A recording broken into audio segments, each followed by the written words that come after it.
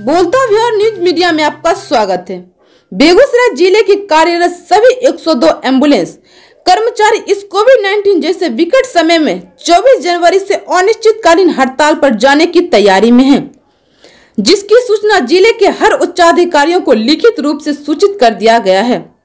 जिसकी जानकारी देते हुए 102 एंबुलेंस कर्मचारी के संघ इंटक के जिला अध्यक्ष रामानंद ने बताया कि आज शुक्रवार को जिला स्वास्थ्य समिति बेगूसराय के समक्ष कोविड 19 का पालन करते हुए जिला के सभी 102 एंबुलेंस कर्मचारियों ने इंटक के बैनर तले शांतिपूर्ण रूप से प्रदर्शन किया।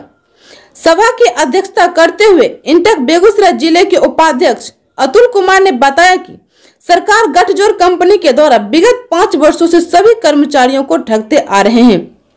झूठी तसल्ली देकर ठगने का काम कर रही है, लेकिन इस बार आर पार की लड़ाई लड़ने में हम लोग तैयार हैं। जिला मंत्री मनोज कुमार ने सभा को संबोधित करते हुए कहा कि कर्मचारियों की मांग जायज़ है।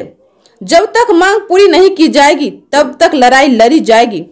जिला अध्यक्ष रमानंद कुमार ने अपने पुराने अंदाज में कंपनी को आड़े हाथों लेते हुए कंपनी को आगाह कराया कि कर्मचारियों को समय रहते मांग पूरी कर दे, वरना हड़ताल अवधि में मरीज़ को कुछ भी होती है तो उसका मुआवजा पीडीपीएल एवं सम्मान फाउंडेशन पाटलिपुत्र कॉलोनी पटना की होगी। 102 एंबुलेंस कर्मचारियों की मांग निम्न प्रकार है। सभी कर्मचारियों को अक्टूबर 217 से जनवरी 2018 तक एवं सितंबर 2018 से फरवरी 2019 ईपीएफ मद की कटौती की गई। राशि उक्त कर्मचारी के खाता में जमा की जाए। बकाया मानदेय का अविलंब भुगतान किया जाए। हड़ताल अवधि में भुगतान का आश्वासन जिला पदाधिकारी महोदय के द्वारा किया गया था, लेकिन अभी तक भुगतान नहीं किया गया है, जिसका अविलंब भुगतान किया जाए।